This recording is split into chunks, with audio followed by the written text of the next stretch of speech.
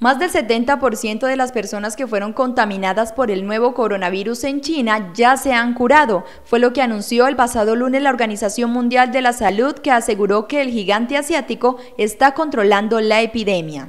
El director de la Organización Mundial de la Salud añadió que países como China, Italia, Japón, Corea del Sur, Singapur y Estados Unidos ya han activado medidas de emergencia que pueden servir de ejemplo. Nos anima que Italia esté tomando medidas agresivas para contener la epidemia y confiamos en que pueden ser efectivas en los próximos días, fue lo que aseguró en este sentido el máximo responsable de la Organización Mundial de la Salud.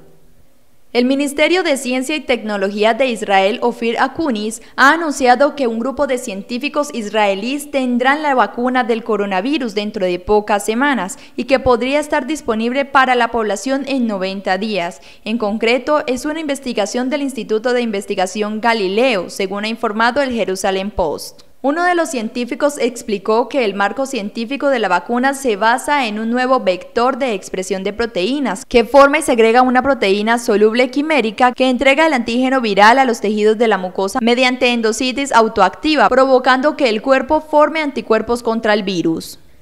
Funcionarios del gobierno de Australia hablaron públicamente sobre los nuevos casos de coronavirus en el país, que incluyen al actor Tom Hanks y su esposa Rita Wilson, quienes anunciaron el miércoles por la noche que contrajeron el virus y se encuentran hospitalizados. El actor ganador de dos premios Oscar confirmó la información a través de un comunicado que publicó en sus redes sociales. Hola amigos, Rita y yo estamos aquí en Australia, nos sentíamos un poco cansados como si tuviéramos resfriado y con algunos dolores en el cuerpo. Rita tenía escalofríos que iban y venían, fiebres leves también, para hacer las cosas bien como se necesita en el mundo en estos momentos, se nos realizó una prueba de detección del coronavirus y se descubrió que eran positivos. Fue lo que escribió a través de su cuenta de Twitter.